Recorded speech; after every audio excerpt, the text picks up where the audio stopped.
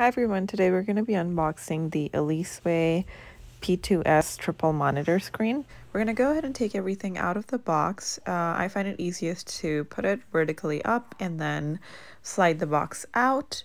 Here's what the triple monitor screen looks like. Uh, right off the bat looks much nicer, comes with a cover and all the needed cords. So this is the USB-C to USB-C cord. There is another one of those, and then it also has the USB-A cord. Um, for this video, I'm going to be using the USB-C one, but it's nice to know that it comes with all the options that I possibly could need. Also comes with an adapter and the user manual.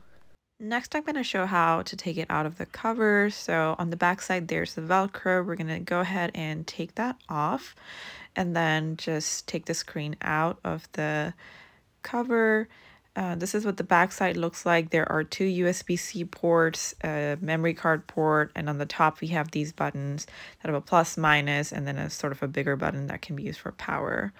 To slide the screen on, press the button and then position it on top of the laptop. I find it easier to do it when the laptop is slightly open and then just putting the screen on. Then we're going to go ahead and slide both the sides of the screen open. The back end on this is much nicer than the previous version. As you can see, there's no dial to mess with. Very simple and easy. Then we're going to go ahead and plug in the USB-C cord in the back, make sure it's all the way in, and then I'm going to go ahead and connect it to the laptop as well. It's pretty much plug and play from here on. As you can see, the screens have turned on automatically once I've plugged it in. I don't have anything else plugged into the laptop, so that's pretty cool. Um, I can project onto the screen using the extend screen feature, just Windows plus P, and I can either use that to extend my screens or I can duplicate screens, whatever I want.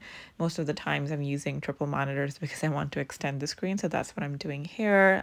I can view YouTube on one screen and have Word on one screen and then my browser on the third screen. So it works pretty well and makes it very easy to be multitasking at the same time. Now it's pretty easy to change the settings on the screen. So depending on whether I want to change the settings on the left screen or the right screen, I'm going to press a button that's closer to that screen. So either the plus or the minus button.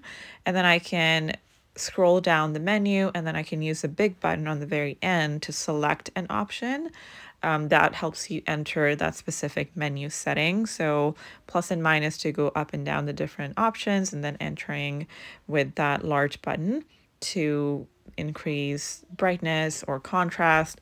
That is more so you enter or select button.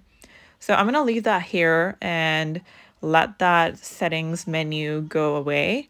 And once it's gone, I'm going to press a button on the other side to show that the menu pops up on the other screen. So both of the screens have their own settings. I can change brightness and contrast and whatever setting I want on one screen, and it won't affect the other, which is pretty neat. So depending on what I want to view on each screen, I can set up the settings differently. I'm going to go ahead and change the brightness on this screen, and that will uh, give a little bit of perspective that I'm changing the settings on this screen right here, but my other screen remains the same and there's no impact on the other screen.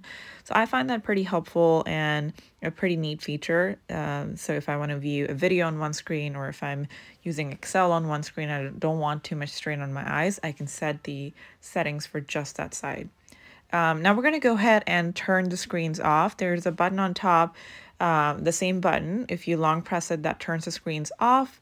And then I'm going to go ahead and unplug it.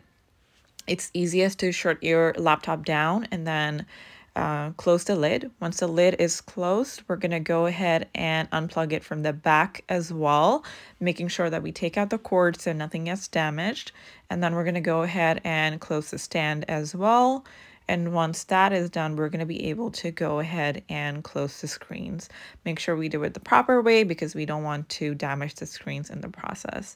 Once that is done, all we need to do is press that button to expand the screens and take it off of the laptop. We can leave it on or uh, take them off and then put them back in the cover. Again, take the Velcro off and put the screens back in the cover and it's pretty much good to go. And I like that it's a lot more portable than the previous version that they had. This cover also makes it look much nicer and it's a nice touch overall.